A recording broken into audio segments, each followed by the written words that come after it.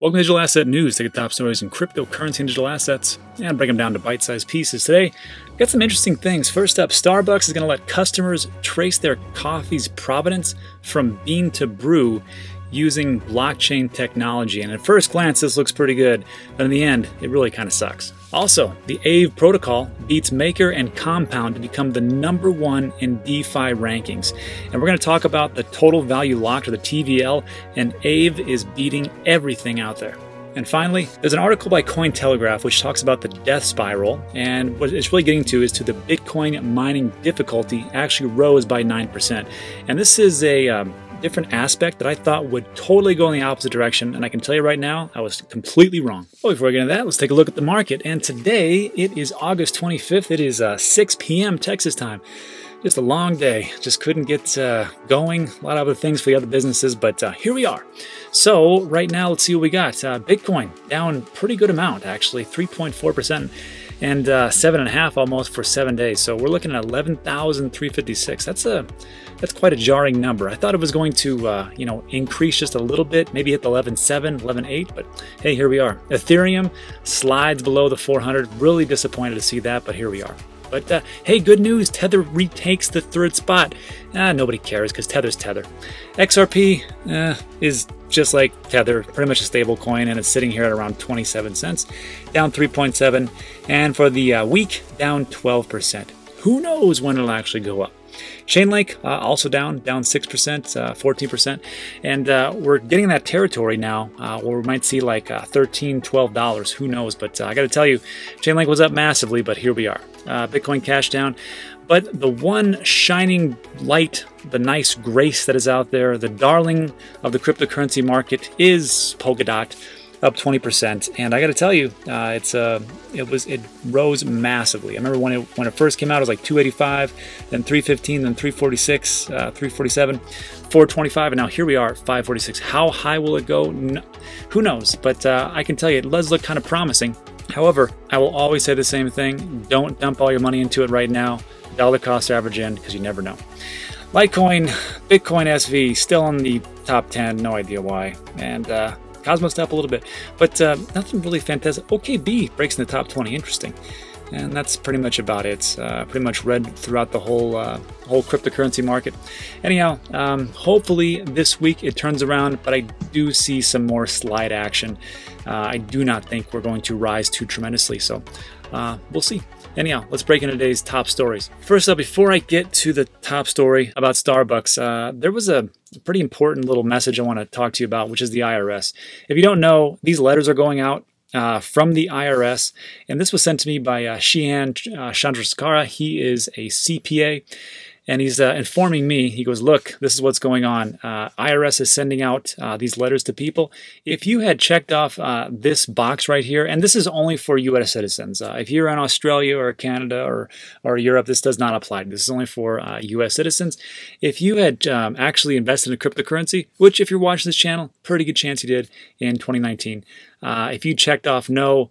Um, and you went through a Coinbase, a Kraken, a Gemini, a Binance, any kind of exchange where you had to do some type of AML or KYC where you uploaded your information, chances are the government knows. So uh, you might be getting a letter and uh, just talk to your CPA about that. That's all I'm going to say. So real quick, this was a letter that uh, was sent out on August 14, 2020, so you know it's recent. And uh, this is exactly from the IRS. And it says, Why we're writing to you, which is never good when you get this from the IRS. But they state here, We have information that you have or had one or more accounts containing virtual currency but may not have properly reported your transactions involving virtual currency, which include cryptocurrency and not crypto virtual currencies. What you need to do after the, reviewing the information, if you believe you didn't accurately report your virtual currency transactions on a federal income tax return, you should file amended returns or delinquent returns if you didn't file a return. Da, da, da, da, So again, make sure you talk to your CPA. I am just the messenger. Do not shoot me. And this is just the information that I got. If you are looking to drastically minimize your taxes, in the description of every one of my videos, there is a link. It's going to look like this. And it's going to link you to a video that I just did a couple days ago, which talks about how to drastically or colossally actually minimize your taxes using iTrustCapital. Click and watch that video and go forward from there. But uh, just a warning for the day. Let's move on to top story. So first up, Starbucks let customers trace their coffee's provenance from bean to brew. When I first saw this, I'm like, great. Looks like VeChain is taking names and kicking ass, whatever you want to call. But uh, I got to tell you, that's not the case. So here it all is in a nutshell. Starbucks, the biggest coffee shop chain in the world, now allows its customers to trace the origins of its coffee using Microsoft's blockchain solution. Let me say it again Microsoft's blockchain solution. What a bummer. You know, you, you, you come into the space and you invest into different projects that you think are going to be good. And what do these, uh, you know, huge conglomerates do? Uh, huge corporations? They just team up together. So now they got Microsoft blockchain solution, which uses Azure, I believe, uh, and that is what is going on. But what's going to, what's happening here is that customers will be able to scan codes on the bags of coffee they purchase to discover their origins. So this is kind of a bummer, but you got to understand uh, these big corporations, they're going to get in where they fit in. Um, and what's going to happen is that you know they're going to say, "Hey, we can offer blockchain, we can offer blockchain." But here's the thing: they are all these huge corporations. Uh, they are not very nimble. They have to, they have multiple layers of management. They have to go through a lot of hoops, and uh, just to get just to land one account. So these types of things, I'm like, okay, well that sucks. I kind of hoping that they would go another route, but of course, unfortunately, they went for Microsoft. But I truly believe if you just look at history and business, I mean, just take a look at Blockbuster. They tried to pivot on a dime when they found out that people were streaming services. And actually, Netflix came to and said, Hey, you want to buy us? And like, no, we don't want that because we're Blockbuster and we're awesome and we'll always crush you. And uh, we know what happened there. But uh, when you're new and you're young and you can kind of do these things because you don't have uh, these, these huge layers of management, you can get out there and you can really change the world. Uh, so I don't see this as uh, being a pop off for every type of thing. I think Microsoft, I think IBM, they will get in for these different places, but I do not see them being the majority because they are just so darn big and they can't be like the smaller different types of blockchain projects that are out there the ones that you and i invest in. So that's what we have. Let's move on. Next up Aave protocol beats maker and compound to become number one in defi rankings. And i gotta tell you uh, Aave has been on quite the tear. So this is talking about the total value locked or tvl and best decentralized finance are being rocked by Aave it's a lending protocol that has now taken MakerDAO's mantle as the most popular destination for Ethereum based assets. And this is one of the reasons why uh, I'm also very bullish on Ethereum because everything's built on it. So um, I've got uh, a good amount of Ethereum, I will just say that. And uh, I can only see it doing very well. But uh, after reading this article, I think I'm going to have to take a look at Aave a little more closely. Anyhow, according to data from DeFi Pulse, Aave or Ave, however you want to say it, holds 1.4 billion in assets as of press time, slightly ed- edging out Maker's 1.4 billion. And for the longest time, Maker was uh, the king uh, of the hill. Uh, here we are, already overtaken, but that's how things move in cryptocurrency. Compound, another one that was the darling of cryptocurrency and now has fallen to fifth place, overtaken by Yearn and Curve, or Yearn and Curve. Aave offers a wide range of assets for borrowing and depositing, with various stablecoins like Tether, TrueUSD, USD Coin accounting for the majority of its value locked. The protocol's value locked measurement thus appears to be partially dependent on the price of its token. This is the big thing. You have to understand when they put out these native tokens, it seems like half of it comes from the native token itself, and the other half is kind of like the lending platform when they talk about USDT, USD coin, uh, TUSD. So it's kind of interesting how that all works, but we'll get into that right now. However, liquidity mining incentives, like on Compound or Curve, resulted in the yield farming phenomenon, which inflates TVL in a positive feedback loop with token prices. I gotta tell you, I am not a fan of this. Um, I just think it's creating something from nothing. And um, I don't see the value of it at all. I just think it's people chasing people, chasing you know, money. And uh, I don't see the value of it.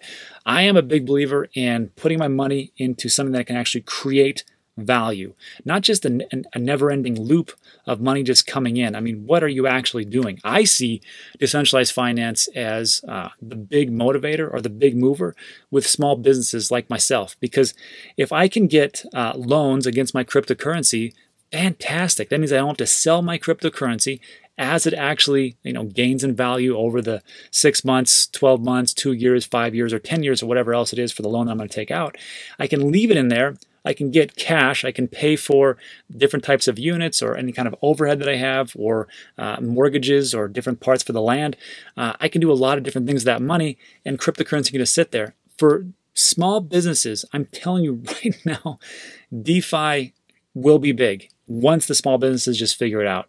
Um, uh, because if you've ever gone through a bank, uh, hint, hint, banks suck and it's very hard to get a loan. So I am big on DeFi for small businesses and, you know, for the private loan as well. Anyhow, finishing up here, some researchers have highlighted that the market's overall TVL is prone to double counting. For example, uh, any DAI liquidity on a lending platform like uh, Aave, Aave, how do you say it, is a second counting of the original assets supplied as collateral to Maker to mint the stablecoin. Now, although these issues have led to uh, some to propose alternative methods of measuring the success of DeFi, the metric still remains the most quoted in the industry. So I don't understand that. But yeah, I mean, look, DeFi is going to be big uh, regardless. Uh, I don't know however we want to count it, you want to double count or triple count or however we want to do it, it's going to be big, but I think it has its place uh, for the right uh, individual and the right businesses. But that's just my opinion. What do you think? Let me know in the comment section of how you see DeFi actually uh, increasing the value uh, going forward over the next 5, 10, 30 years. All right, that's it. But there's one thing I want to do. I want to take a look at the actual website. This is uh, app.aave, A-A-V-E, or aave.com. And when you go here, you can um, you can connect your wallet uh, right away. So if you got a if you got a ledger like I do, you can click on that. But if you're using the the, the Brave browser, uh, you can set up your uh, Ethereum-based wallet right in the Brave browser, which is pretty cool. So all you got to do is you can't see it, but in the top left-hand corner, if you're using the Brave browser, just click on Brave and then you'll click on preferences. And then right here on the top, on the top right there, it'll say crypto wallets. And then you put in your password and there it is. Wham, look at that. 0.15 ETH. I'm loaded. Then I got uh, Celsius 35.18. And you can do this, uh, you just set it up right here and it'll walk through the whole thing. So it's pretty cool. You can just do this and then just, you know, pay for things uh, as you're using the Brave browser and instead of using your Ledger or any kind of hot wallet. So it's right there. But just be aware, I don't keep a lot of money uh, on these wallets. These are kind of like uh, just incidental type of things that I want to do and just test out. So just a little bit and that's okay. And there's your uh, Ethereum based wallet is copy to clipboard and off you go. That is your public key. So anybody can take a look at that. Anyhow, jumping back, uh, let's, it says start crypto wallets and reload. Let's do that. And there it is, browser wallet. Interesting. And then welcome back, you do this again. And I got a couple here. We'll use the one that actually has money in it. Oops. Ah, can select them all. I don't want to. Next. All right, and then connect to, they're connecting, and boom, there we are.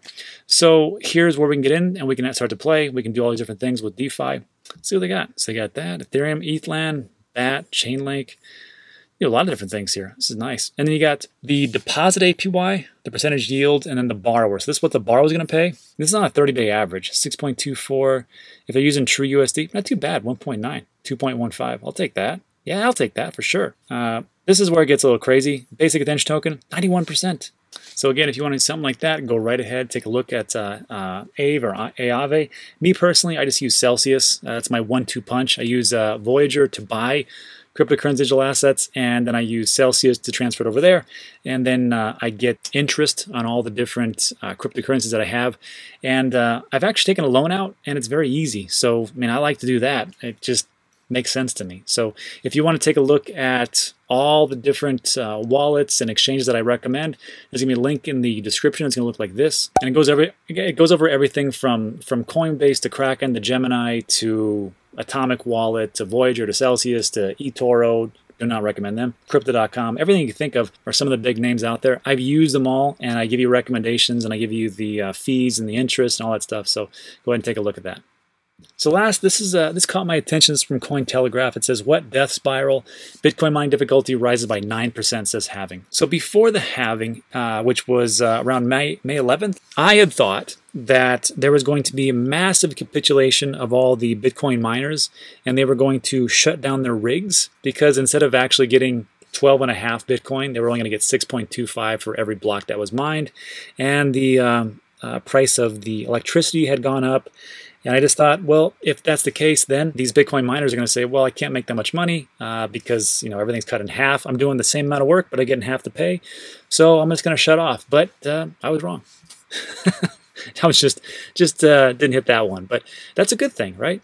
So a rising hash rate is a positive for Bitcoin. So the thing about uh, hash rates, this is the great thing about the Bitcoin network. It keeps everything in equilibrium. So the more mining rigs that are out there, the more that are you know chunky or long mining those blocks, uh, the more they have, the higher the hash rate actually is, and the more difficult it is. And then inversely, uh, if miners would have shut everything down, or at least half of them would have shut down, then the difficulty would have dropped dramatically, and uh, it had been easier for all the ones that were left on. I always thought that uh, the bigger corporations, the big mining pools, would just dominate, and all the uh, small guys would be, uh, you know, pushed out. But did not happen.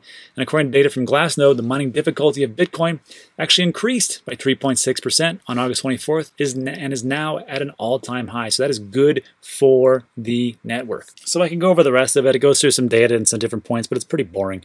Um, the only thing that really I got out of this is that this is a good thing for Bitcoin because I mean it is it is good to have competition in a market, and if you're going to have you know just these huge mining pools just swallow up everybody that's not great. Now it's going to happen anyhow at some point let's just be honest because i mean you've got these uh, big huge mining pools in uh, in china and that's just the way it is. And then you've got uh, there's some in actually Layer1 which is in central or southwest texas um, and uh, that is the one that is uh, being financed by peter thiel and that one's supposed to be enormous. There's also some other uh, mining operations in texas as well because electricity is so cheap. So I'd, I'd, like to see that. I'd like to see more come out. I'd like to see more smaller operations get into the game. But yeah, you know how it goes. Uh, sometimes you just gotta get uh, the bigger players dominate. Okay, and that's it for today's uh, top stories. But before we take off, I just want to say thanks to everybody who has signed up at uh, for Digital Asset News. There is a Join Now button at the very bottom right.